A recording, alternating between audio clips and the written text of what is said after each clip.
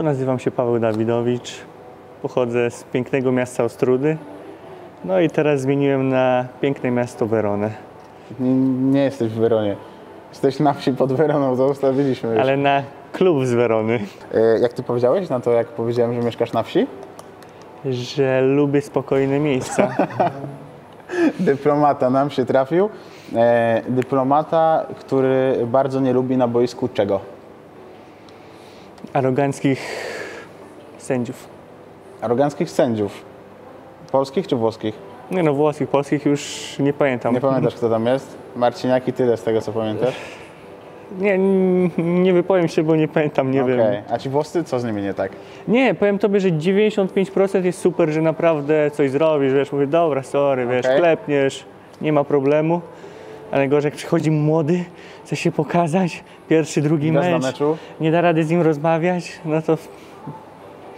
To zawsze mamy kapitanka u nas mówi, a co ty taki arogancki jesteś? I dopiero zaczyna, wiesz, powoli rozmawiać, luz łapać. A ty sobie lubisz z nimi pograć wtedy, rozumiem, tak? Pogadać. Sta- nie, właśnie staram się od kilku lat w ogóle tak nie dyskutować. No Nie? dobra, ale ty kilka lat temu to miałeś lat 18 powiedzmy, no to wtedy dyskutowałeś najwięcej? Wtedy tak. Naprawdę? 18, 20, Taki- 22 To wyszczekany byłeś wcześniej bardziej. wcześniej. No już trochę życiem jest, wiesz, stępiło, więc jeszcze do mnie dziewczyna zawsze mówi, jak oglądałem mecz, mówi, po co on się kłóci? Przecież on już gwizdał, on już nie zmieni. Mówię, dobra, masz rację. To jest twój poziom? Poziom czy- Verona? No wiadomo, że chciałbym pójść jeszcze wyżej. I fajny był ten okres czasu, wiadomo, do kontuzji. No i teraz chcę wrócić przed końcem sezonu, żeby jeszcze fajną kropkę nad i postawić. Dopóki nie będę miał identycznych nóg, tej samej siły, dopóki nie będę się czuł faktycznie dobrze z tym kolanem, no to nie będę nic przyspieszał, nie? Okej, jasna sprawa. E, Dobra, spytałem czemu inaczej. Spytałem, czego nie lubisz na boisku, bo zaczęliśmy gadać o różnych napastnikach i chciałem spytać, który cię wyjątkowo irytował we Włoszech, jak z nim grałeś. No bo te nazwiska naprawdę robiły wrażenie, wiesz, od Ibry pewnie przez Icardiego po Cristiano. Powiem tobie, że czym większa półka, tym zawodnicy mniej rozmawiają na przykład z, tak z pretensjami. Bardziej to tak wygląda, że wiadomo, po jakimś kontakcie, puste słowa jakieś takie klasyczne, ale pod koniec zawsze piątka zbita. Nie Okej. zdarzyło mi się jakiegoś, na jakiegoś chama trafić, który by jeszcze po meczu coś podszedł, coś jeszcze miał do powiedzenia. No bo wiesz, jak utemperujesz na początku, to wtedy nie ma tematu, nie? Żeby jeszcze miał coś do powiedzenia. A przeciwko tym dużym nazwiskom, jak ci się grało, kogo wspominasz tak najciekawiej? E, wiadomo, że każdy coś ma innego. Pod każdy mecz inaczej patrzę pod zawodników. Mamy ścinki meczów, to mało oglądam, ale mniej więcej wiem, co lubią robić, jak się zachowują w danych sytuacjach. I tak najbardziej nieobliczalny był Dybala, nie? że jednak Okej. możesz go tak mniej więcej wiedzieć, że używa tą swoją lewą nogę i Ale wiesz, ale jednak ma ten błysk tej taki. wiedzy wychodzi potem, nie? Tak, tak, jest naprawdę niestandardowo gra. Okej, a w powietrzu przeciwko komu ci się najgorzej grało? Na zasadzie, że wiesz, Mm. palec między żebra i tak dalej. No Ibra jest nieprzyjemny, to wiadomo, nie? Że on nawet jak nie skacze, to jest mocno nabity, że A ty go lubisz, czy nie jesteś fanem? e, jak no, chłop wygrał no tyle, tyle wszystkiego, tyle grał, tyle bramek, no to no, szacunek mu się należy, nie? Okej. A rozumiem, że na boisku były takie momenty, że sobie pomyślałeś, mam go dosyć, tak? Nie no, on jest nieprzyjemny, bo jest silny bardzo. No i wiadomo, jak jest górna piłka czy coś, to niektórzy mają to, że nie muszą skakać, żeby swoją pozycję wywalczyć. Ale ja jakbym wybrał, to wolę właśnie, żeby był większy, silniejszy niż Okej. mały, zwinniejszy. Nie? Okej. Czyli wolisz grać y, na lewego na treningu kadry, a nie na świderskiego. Bardziej jeszcze mniejszy. Okej, rozumiem. A tak na poważnie to z lewym jak się rywalizuje na treningu? No bo w meczu okazji nie miałeś, ale zakładam, że też nie jest ciekawie, jak trenujecie. Wiadomo, że widać tą e, różnicę, że czasami są te takie fragmenty, że, że widać, że no, chłop jest z wysokiej półki, jak nie najwyższej. Ale no, bardzo go cenię jako człowieka, mamy dobry kontakt, więc nawet jak go tam trochę coś ostrzej zaatakuje, to A potrafi go ponieść? nie, on bardziej jest też taki spokojniejszy. Też jak go tam coś zaboli, to się odwróci, ja wiem, mówię, dobra, sorry, mówię, Paweł, trening jest, ja wiem, dobra. to bardziej tak wygląda. Ty na treningu też się lubisz zameldować. Szkoła Kamila Grika. Nie, no tak staram się, wiesz, jednak jak trenujesz, tak grasz, więc potem ciężko przestawić się, że okej, odpuszczę te dwa treningi, trzy, a, a jutro jednak jest mecz, no to tu Będzie przyostrzę, spokojniej. nie? To tak jednak się nie da, przynajmniej jak ja na to patrzę. Tak. A ta gra w obronie e, typowo z Kamilem Glikiem czy z Bednarkiem Ciebie czegoś, nie że nauczyła, ale Ci coś pokazała na przykład? Coś nowego? No wiesz, obojętnie z kim grasz, to uczysz się jego i on się uczy ciebie jak grać, te, żeby mniej więcej wiedzieć jak się porusza, jak, jakie, nie wiem, sytuacje lubi na boisku.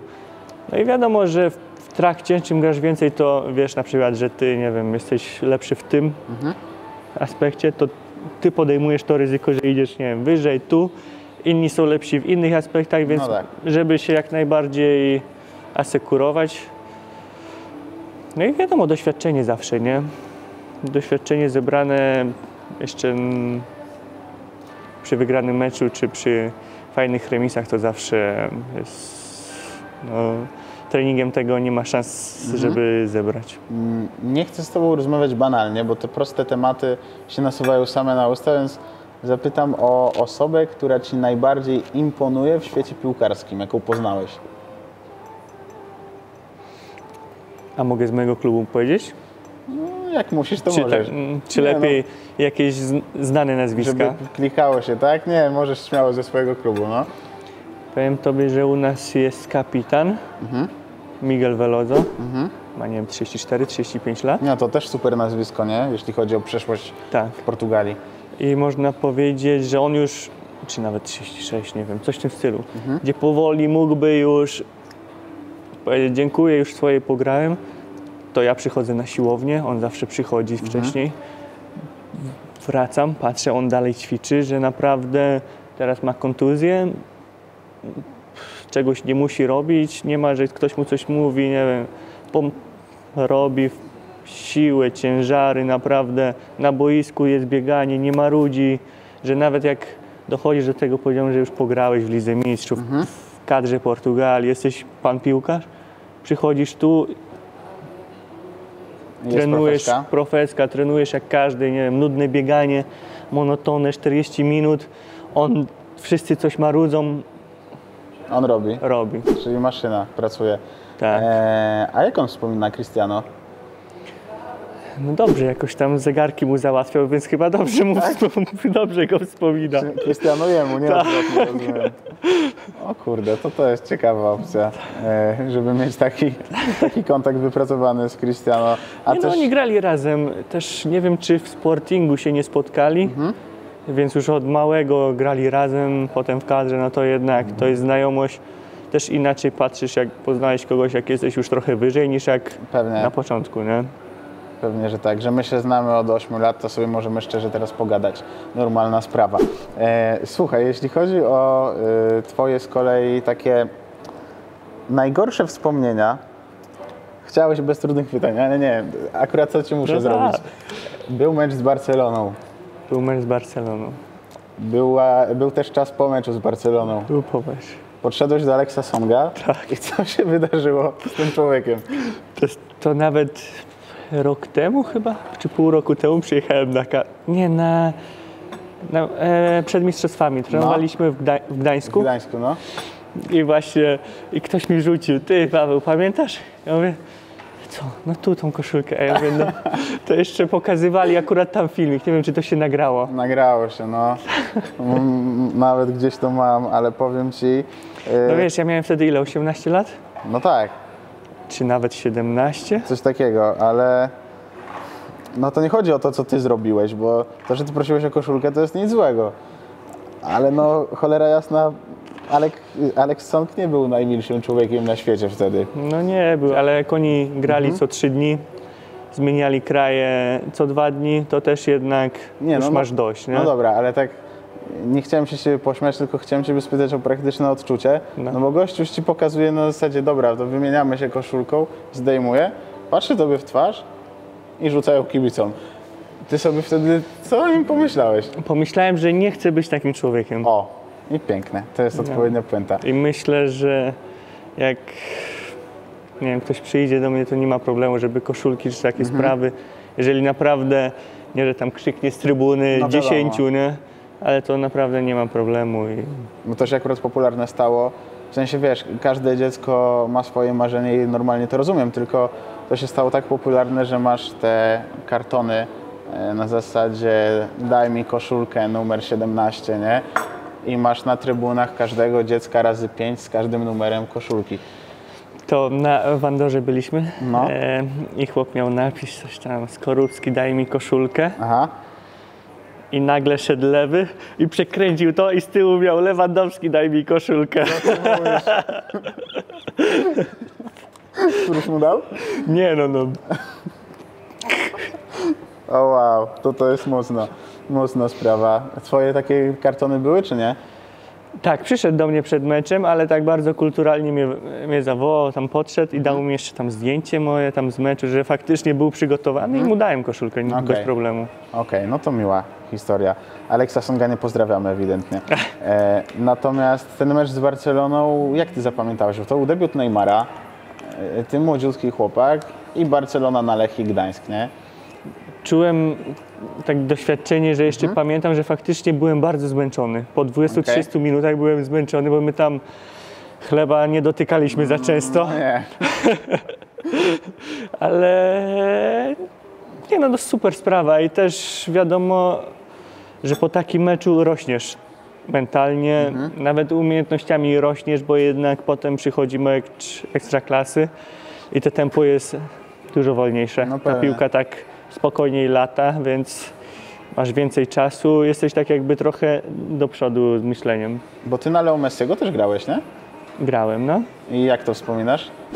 No tak jak Ci mówiłem, nie chcę go oceniać, bo on zagrał wtedy w ciągu tygodnia pewnie dwa mecze. No wiem. Latał i grał w Polsce z Lechią Gdańsk, więc A ty inaczej on jesteś gra w lidze. Barsy, czy nie?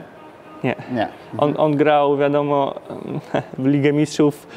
Myślę, że na pewno inaczej gra niż grał z Lechią Gdańsk. Domyślam Nie? się.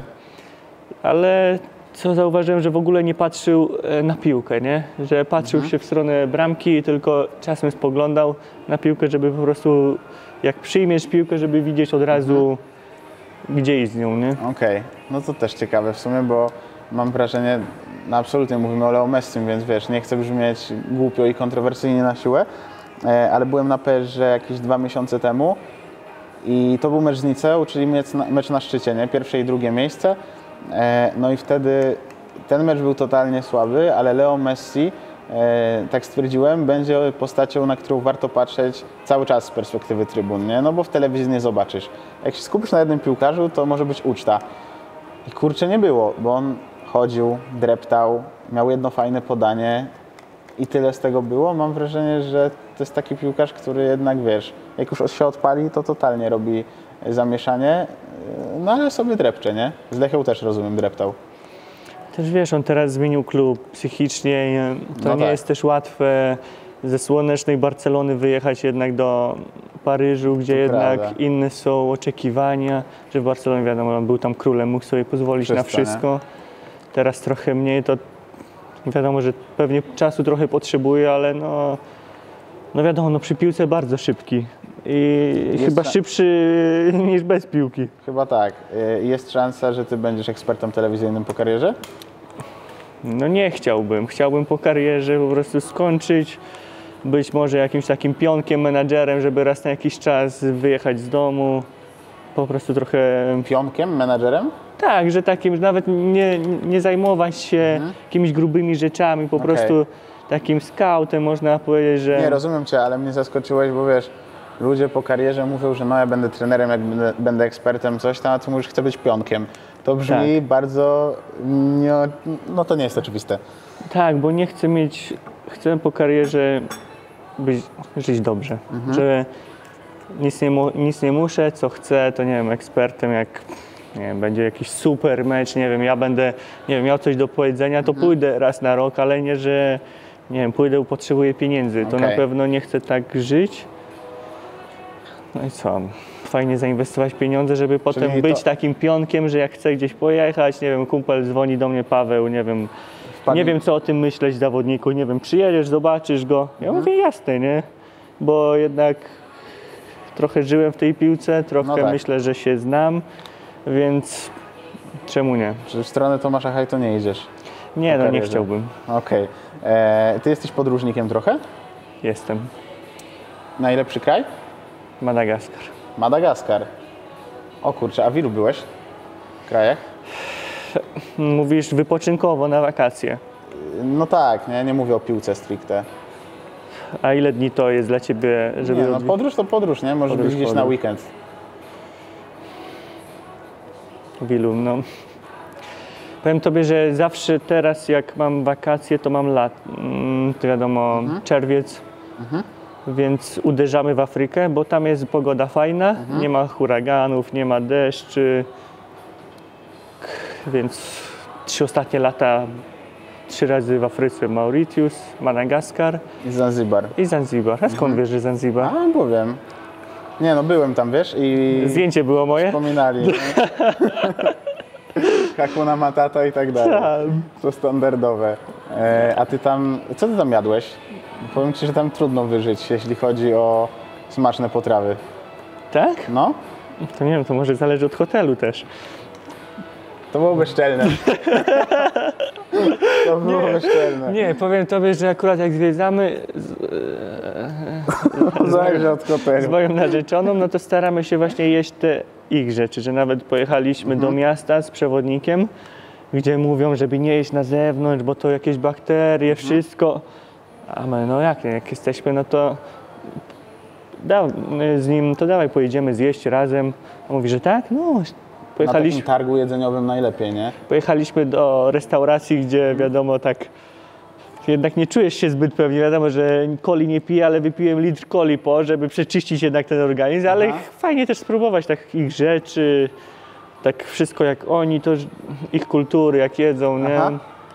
I też No, fajnie od kogoś mieć, jak zawsze podróżujemy, to staramy się mieć jednego człowieka nie, za, nie, z, nie wiem, z biura podróży, mhm. tylko po prostu stamtąd jednego człowieka, który się będzie z nami zajmował, woził, To oprowadzał. jest fajne, bo jesteś na przykład na takim Zanzibarze i możesz spotkać normalnie tamtejszego człowieka, oczywiście czarnoskórego, urodzonego tam i tak dalej, który mówi ci normalnym polskim i oprowadza wycieczki. Miałeś sytuację taką, czy nie? To nie. Nie, nie ja byłem właśnie z takim Ambrożym. Jest też, ostatnio Michał Pol wrzucał, że jak- jakiś Szymon też oprowadza tam Polaków. Normalnie gadają po polsku, bo się nauczyli z YouTube'a, a tylu Polaków przyjeżdża, że robił wycieczki, wiesz, po Stonetown, jakaś tam e, farma przypraw, te żółwie na wyspie i tak dalej. Oni to wszystko normalnie robią po polsku. To fajnie, powiem Ci na Madagaskar, na Madagaskarze. em, z biura podróży nam proponowali, wiadomo, wycieczka, super, tam cenowo, to wszystko. A my mówimy, nie no, jedzie tam pełno ludzi, bez sensu. To jeszcze pojechaliśmy z tym tubylcem, to wiadomo, że jeszcze cenę wziął za dwie osoby, jak ci w biurze za jedną, to jeszcze oprowadził nas, małpy siadały, na nas już mieliśmy dość, bo tylko my tam w pięć Aha. osób byliśmy. I potem wracają tamci, co wy przyjechali z grupą, mówią, że nawet nie dotknęli, nawet z daleka widzieli tylko małpy, bo 30 osób weszło, to te małpy uciekły. No nie, to katastrofa, nie? No, to- Najlepiej poczuć ten ich klimat. A ty miałeś e, sytuację jakąś kiedyś, że się bałeś na przykład o swoje życie podróżniczą? Hmm, teraz mieliśmy tak, że nie wiem, czy byłeś, że snurkujesz z delfinami na otwartym morzu. No to ja mówię, no dawaj, nie? Bez pianki, bez niczego, płyniemy. Wypływamy, że nie widać lądu, no i nie widać żadnej łódki dookoła. On mówi, przygotuj się. Ja mówię, co się przygotuj? No zakładaj płetwy, bo płyną, zaraz będziesz skakał. Ja mówię, jak skakał? No tam. Ja mówię, to ty nie skaczesz ze mną? Mówię, nie.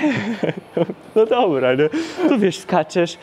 To wiadomo, trochę adrenaliny jest, Aha. fale cię zalewają. To póki nie zobaczysz tych delfinów, to się...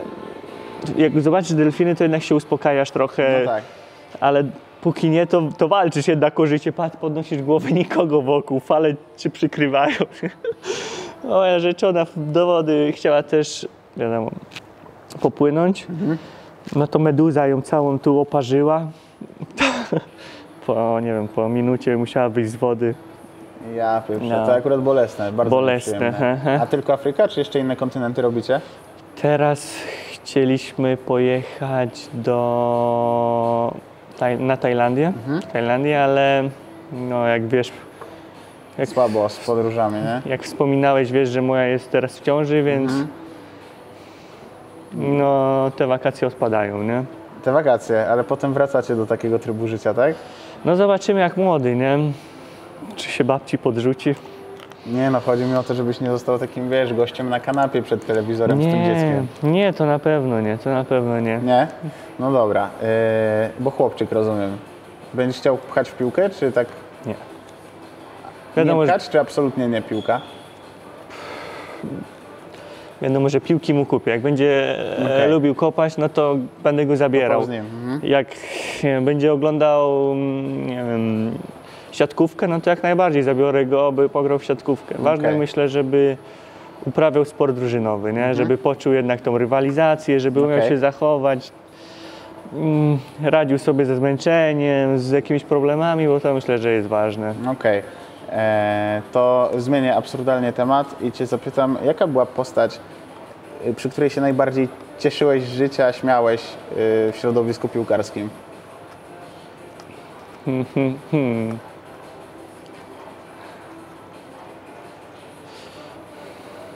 Jedna osoba, jakiś żartowniś, chodzi ci?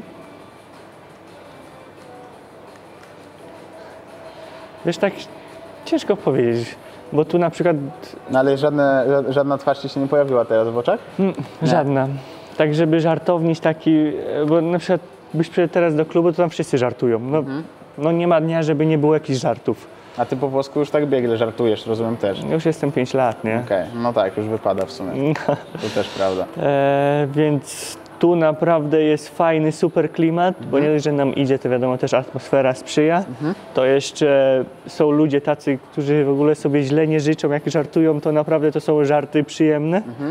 Nie ma takich złośliwości, Głupiej szydery. nie ma, są naprawdę żarty takie śmieszne, nawet Okej. dla tego, z którego żartują, nie? Okej, rozumiem. E, a na przykład w kadrze Ty tak zawsze miałeś, że było śmiesznie i żarty z tego, z którego on chce, żeby z, nie, z niego żartowali, czy różnie bywało? Wiesz, na kadrze no to też jesteś zawsze tydzień czasu, No tak. to ci, co są, wiadomo, już kilkanaście lat wstecz, no to wiadomo, że luźniej się czują niż ci, co mm, przyjeżdżają, nie? Co jakiś czas. Ale na każdej też jest atmosfera fajna, też są żarty, wiadomo, że są żarty trochę mniejsze, bo mniej sobie można to pozwolić, No tak. bo jednak nie znasz ludzi na co dzień, ale e, e, atmosfera, wszystko jak najbardziej Okej, fajne. spoko, jak najbardziej rozumiem. E, jeśli chodzi o Serię A, to tak się zastanawiam, który trener mógłby Ciebie objąć tak, żebyś czuł się usatysfakcjonowany, że masz takiego gościa na, na co dzień? w Weronie ogólnie trenerzy bardzo dobrzy byli, że naprawdę z każdym miałem dobry kontakt i czegoś mnie nauczyli, nie? Okej? że z nimi jak najbardziej bym chciał pracować w innych klubach, w tym klubie A Fabio Grosso, jak wspominasz? bardzo dobrze, super przygotowany, wiadomo, że wtedy nam no nie szło, nie, nie, nie oszukujmy. No są różne momenty, ale jako człowiek, jako wszystko przygotowanie super. A jak on podchodził do swojej kariery? W sensie e, podkreślał jakoś to, widać było w charyzmie jego to, że swoje w piłce zrobił? Najśmieszniejsze może było to, że jak jechaliśmy na mecz Mhm. samolotem, to kibice szli do niego, żeby zdjęcie zrobić, nie? więc to jest takie A nie do fajne. was. Mhm. A nie do nas. No. On był jeszcze w serii B, B byliśmy. E, no dobra, jak się czujesz z Paulo Souzą? Twoje ulubione pytanie. E, ja wspominam bardzo dobrze trenera i Mhm. też dużo się nauczyłem takich prostych rzeczy, że faktycznie potem myśląc, że mogą dać różnicę. Mhm. Ja złego słowa na trenera nie powiem. Wiadomo, że teraz jest trochę szumu, bo jednak odszedł w trochę zł- złym czasie. Mhm. Ale to są decyzje, to jest jego decyzja, więc ja nie mam z tym nic wspólnego, bo A ja, zrobiłbyś to samo?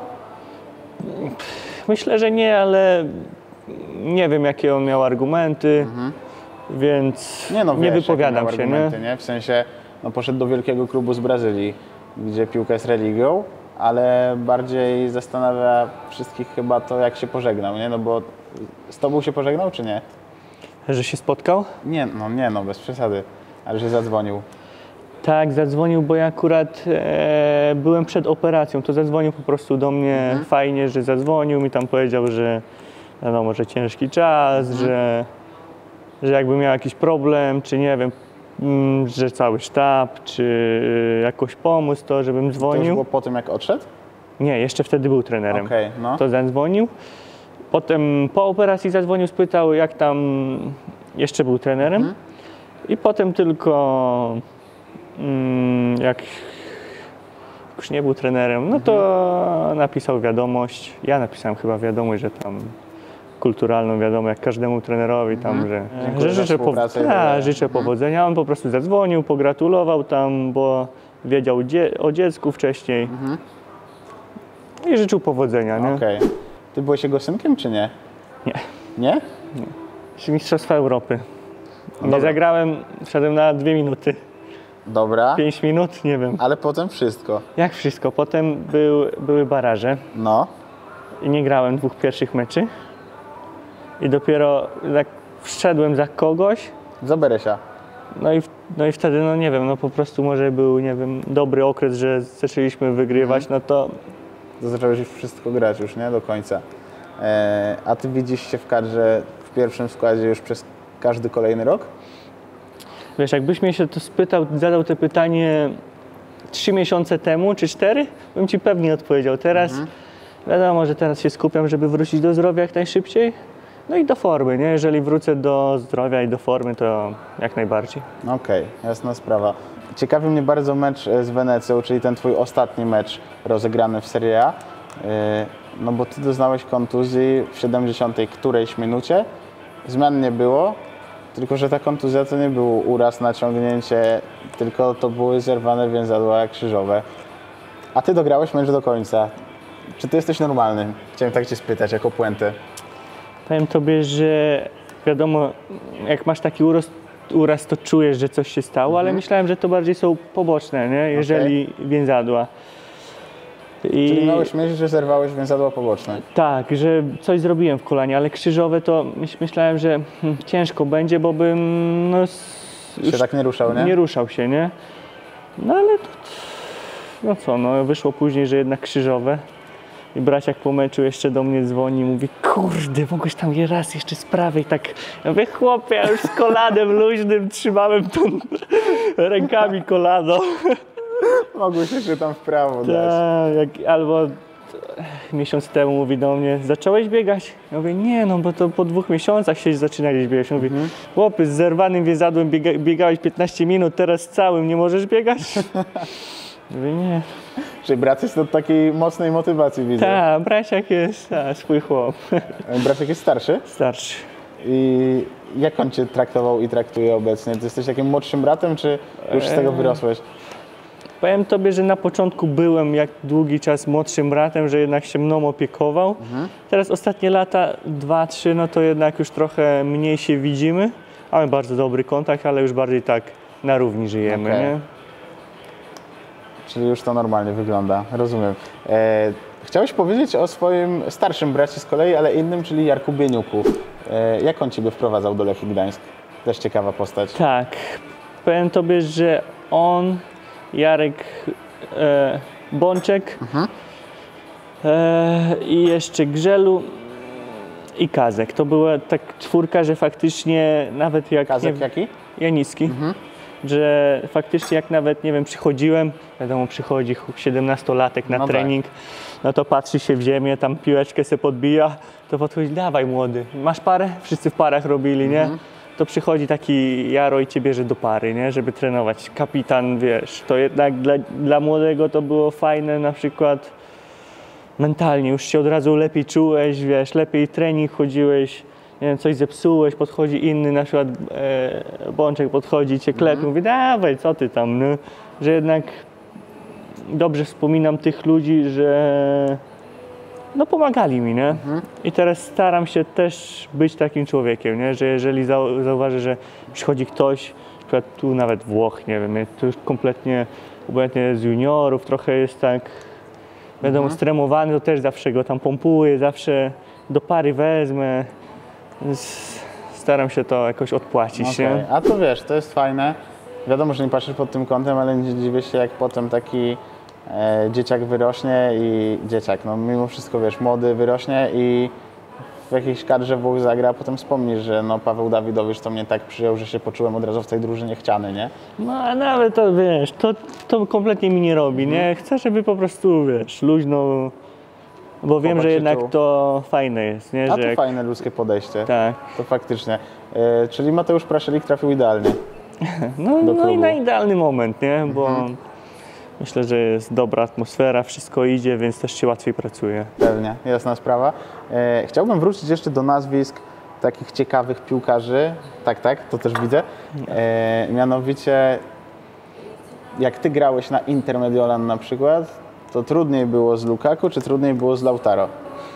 Lautaro, tak jak mówiłem, mniejsi, zwinniejsi mi dają, mam z nimi większy problem, nie? Niż bardziej statyczni, bardziej, których można przewidzieć, że wiadomo, że się odwróci, ale to więcej czasu im zajmie.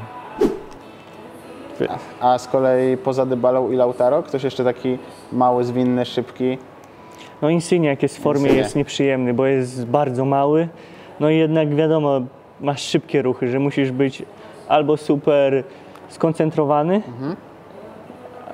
mm, albo jednak no, będziesz gonił go, nie? A z kolei jak patrzysz na obrońców, bo trochę oglądasz Serie A, czy nie? Oglądam, no. Jak patrzysz na obrońców, to który najbardziej imponuje z tych starszych weteranów? no nie zaskoczy nikogo, jak powiem Kielini, nie? Bo wiadomo, że on, on to, co wygrał, wiadomo, ale też pracuje, codziennie widać i piłkarsko bardzo się poprawił, ale wiadomo, że to nigdy nie był wirtuoz, No tak. a, a ostatnio nawet jak tu graliśmy, jak mnie krył przy rożnym, to ja już wiedziałem, że ja nie wyskoczę do tej piłki, nie? Wyskoczyłeś, czy nie? Nie, no ustawia chłop piłkę, a ten już mnie szczypie tutaj, mnie trzyma za... No, ja mówię do niego, no zobacz, jeszcze piłki nie ustawił, się śmieje, nie? Ja mówię, to poczekaj chociaż dwie sekundy. Dwie poczekał i znowu mnie złapał, nie? No to odwracasz się do sędziego, on nawet nie patrzy na ciebie, nie? Oj, to nie Więc, jest. więc potem mówię do, do, do swojego, mówię, chcesz, to ci blok zrobię, bo i tak nie wyskoczę, nie? To, to robiłem blok koledze. E, ciekawy jestem, jak to grać e, w trójce z Kielinim. Myślę, że dużo przyjemniej niż faktycznie kryć go albo być krytym przyrożnym. Mm, a z Wojtkiem Szczęsnym za plecami jak się gra? Z perspektywy stoperka czy środkowego obrońcy? Fajnie, on jest bardzo luźnym, takim spokojnym człowiekiem. I, ja uważam, że bramkarz powinien być taki luźny, właśnie spokojny, że dasz mu piłkę, więc nawet jak zepsuje, czy zagra dobrze, to, to nie zmienia za dużo, że, że ciągle wiesz, musi być to Okej. samo.